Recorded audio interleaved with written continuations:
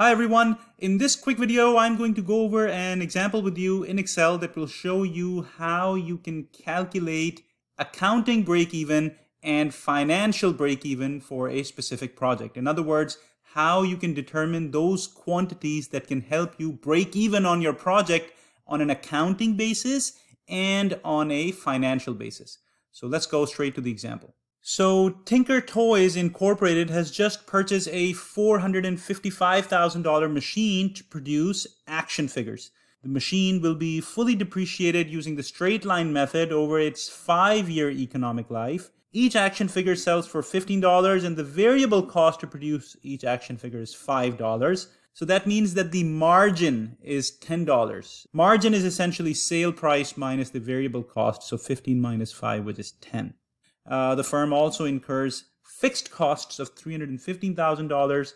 Uh, the corporate tax rate for the company is given as 24%. The appropriate discount rate is also given as 12%. The question says calculate the accounting and financial break-even quantities for the project. So the first thing that I'm going to do is that I'm going to write down all the inputs that are given to me. So the capital expenditure is given 455,000. Useful life is given five years. This will actually help me calculate depreciation later. Uh, tax rate is given, sale price, variable cost, fixed cost. I've written all of these down over here.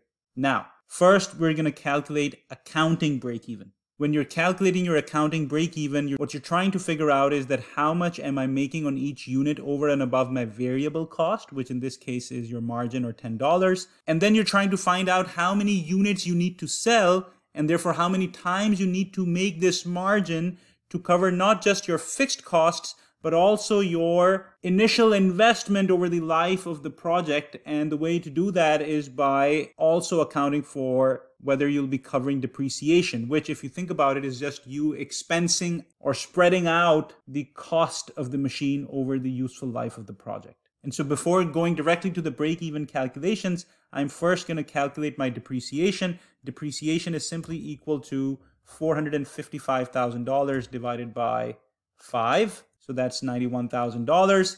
My margin is going to be price minus my variable cost, which is $10. And so based on this, my accounting break even is simply going to be equal to my fixed costs, which is 315,000 plus my depreciation divided by my margin, which is $10. And so if I do that math, I get 40,600 units. So these are the number of units that I need to sell in order to break even on an accounting basis. The next part of the question asks you to calculate financial break even. Now, financial break even is something different. Specifically, financial break even is calculated as equivalent annual cost of the project plus fixed costs into 1 minus the tax rate minus t times depreciation over price minus variable cost into 1 minus the tax rate. Now I know this is a elaborate looking formula and the exact rationale for this formula is something that I've talked about in a separate video, but essentially the idea behind financial break-even quantity is that what is the quantity that makes this project a zero NPV project?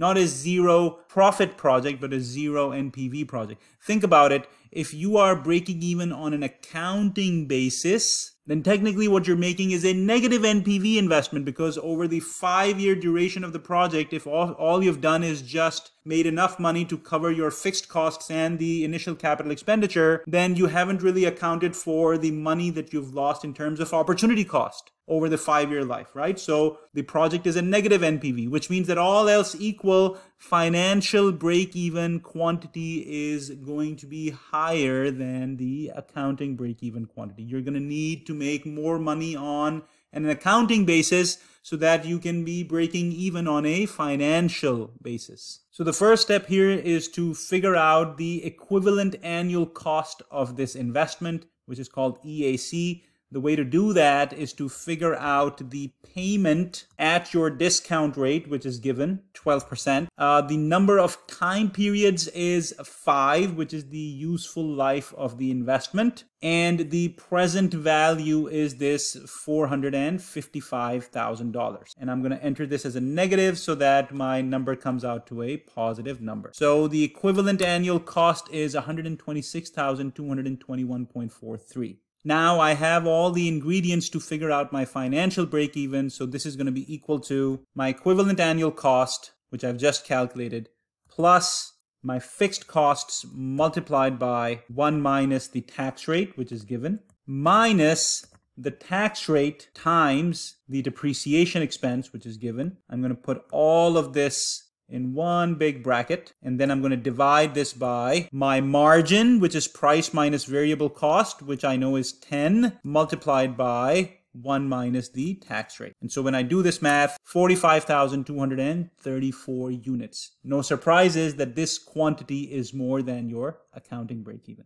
And so there you have it, a simple example to show you how you can calculate accounting and financial break even in Excel. If you found this video useful, click the like button and subscribe to the channel. And feel free to ask any questions using the comment section. Happy learning!